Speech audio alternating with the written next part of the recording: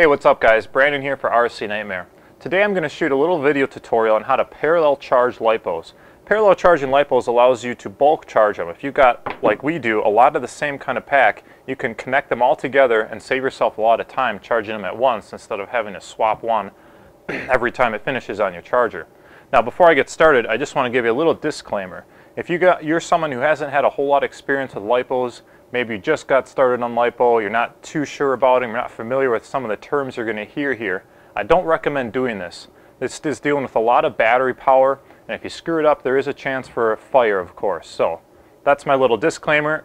If you're comfortable with LiPos, you charged them before, you understand this video and you like it, feel free to try it. But if you're someone, again, who's just getting into it, talk to someone first and maybe have someone show you how to do it before you get started on it yourself. That being said, let's jump right into it. First word on parallel. When you're paralleling your batteries, you may have a harness like this for your truck where you run them together to double up the capacity or your runtime. Now capacity is the mAh rating on the battery. It stands for milliamp hours. These particular batteries are 5,000 milliamp hours. For the rest of the video, just for simplicity's sake, I'm going to speak of it in terms of amp hours. So if you have a 5,000 milliamp hour, all that means is that it's a 5 amp hour. That's more practical to say because really we always deal with thousands of milliamp hours, so you'll see a lot of batteries out there now are switching over to amp hours. Just a simple way to say it, it keeps all the units of measure the same. so let's start as an example. Let's say I want to charge these two packs together. I have two 5,000 or 5 amp hour packs. These are both a 2 cell. If I add them together, I actually have a 10 amp hour 2 cell. I'm not adding up the, the voltage of the batteries. That would be a series connection. I'm adding up the capacity. You do not want to series charge LiPos. That's a very dangerous way to go about doing it. There's twice the chance of you hooking it up incorrectly and burning something out. So if you see anyone saying that they series charge LiPos, not a good idea unless the charger is specifically designed for it. So keep it to parallel. Now, word on paralleling, you can't parallel two different types of batteries. So here I have a three cell. This is a 5.4 amp hour or 5400 milliamp hour. If I try to parallel charge this with the two cell, the voltages don't match. This is 11.1, this is 7.4. They burn each other up. You'd have a potential for a fire or you just damage the smaller pack. So you can only parallel charge packs that are the same cell count. That also being said, you really ideally want to charge parallel charge LiPos that have the same capacity or very similar capacity. If you get into parallel charging a little bit more in depth, you can see that you can get away with charging different size packs of the same cell count but it gets a little more tricky. So for this video, we're just going to deal with the same size packs. Now this product I'd like to show real quick is a nice, nice parallel charging board. Instead of making all these little connectors here, this is one I soldered up in a previous video for you guys, you have one board that can do six at a time. This is called the Paraboard. I got this from epbuddy.com. This has all our balance connectors, as you can see on the sides, and Dean's connectors all preset on the board for you. It's just really neat. There's no chance of screwing up your wiring because the wiring is built into the PCB board. If you're trying to do it through harness like this, you need a bunch of these and you need a parallel balance harness. Excuse me, which is just a little bit harder to make and again, a little bit more complicated. So I do recommend getting something like this if you want to charge multiple packs. Makes for a really clean install. I got the PowerLab 8 here next to me. I'm going to plug it into that right away. This plugs right in, plugs right into my existing balancing board and the setup and the, the wiring is just super simple. now in terms of actually charging up and setting up in your charger, again, let's say I want to charge these two now. If I was just charging one of these, I would set my charger to a two cell, five amp hour pack, simple enough.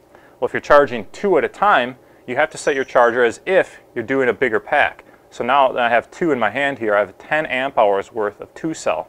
So if I plug these into my, my PowerLab 8, I would set it up for 10 amp hours or 10 amp charge rate at a two cell.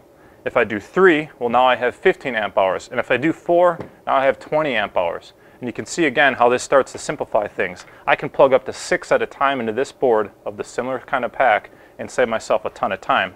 Plugging these all in now, I'm essentially building one large pack of a large capacity. This would be 5 times 4, 20 amp hour pack. Now, a lot of people are unsure about this. A lot of people say parallel charging still isn't safe or proven. I can tell you definitively it absolutely is safe as long as you hook it up correctly. Let me show you an example. These three cell packs I have here is a three cell 5400 milliamp pack. Well, there's actually not three cells in here. If we take this apart and look closer, there's six cells in here. Why six? Well, they're paralleling two cells, two pairs of cells to reach the larger capacity. Manufacturers have been doing this for a long time. Lithium polymer battery chemistry likes to be paralleled. It helps stabilize the cell voltages, gives you more amperage to draw from. It's been well proven, it's sold this way, so charging it is absolutely safe as long as you know what you're doing.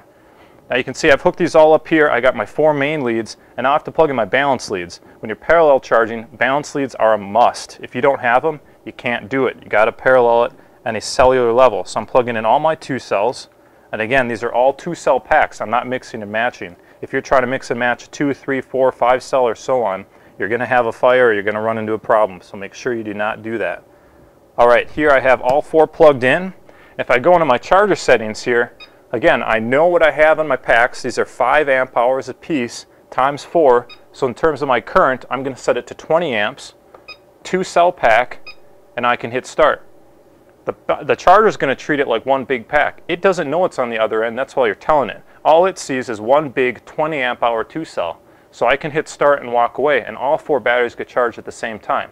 Again, this only works for similar size packs. I keep repeating that because it's absolutely essential you have a very similar size pack and it has to be the same voltage or cell count. Now another interesting point to, to, uh, to work on is depth of discharge. When we speak of depth of discharge, that's basically how charged is your pack. If you're plugging in one of these, let's say I just ran this pack and it's completely dead, this one I know is almost fully charged, it's not a good idea to plug them at the same time because all the energy from the battery that's charged is going to try to rush into the battery that's dead. Not a great idea to do it. There's mixed reviews on whether or not that's good or bad for the cells, but if you want to be safe about it, always plug in packs that have the same depth of discharge or in their same state of charge. You know they're all relatively drained or you know they're all relatively charged, you're safer off paralleling them together. So now I can leave this alone. That's all going to charge in one hour, assuming your charger has the power for it, and you saved yourself a ton of time and hassle switching between packs. We got obviously a ton of RC cars back here, so we have I think four more of these green packs, so it saves a ton of time around the field to hook them up all at once and walk away, go do something else. Obviously, you put them in a safe spot while you're charging, but it saves you the hassle messing around with all the wiring and swapping out packs. Now, let's say I want to do the same thing on a three-cell setup. It really holds true. It's going to be the same equation. We're charging two three cells in parallel. We're not adding the voltages. We're only adding the capacity. So if I pose these aside and bring out the three cells, if I'm going to hook these up together on here, it's the same story. Hook up the main leads, hook up the three cell balancer lead. These are both three cells. And now I know that when I go into my charger and I'm putting my settings in, I'm just doubling the capacity. These are both 5.4 amp hours, so together I have 10.8 amp hours or 10,800 milliamps if you care to say it that way, and it's still a three cell pack. So I can go into here, I set 10.8 amps because that's my capacity. I make sure it sees a three cell, I hit start, and now it's charging these as one big 10.8 uh, 10.8 hour amp hour pack. Now again, this is the same thing as if I were to put these together, wrap them up with some tape, it's the same thing. The charger sees it as one big battery. So that's parallel charging.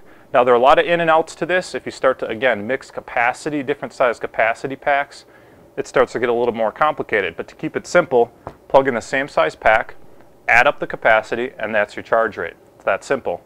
Again, now if you guys have any questions, comment below. This is a pretty hot topic. It's pretty technical. There's a lot of ins and outs, like I said before. So if you have any questions about your specific setup, or you're, trying to set up a board you're not sure, comment below. Or better yet, post up at RC Nightmare Forums.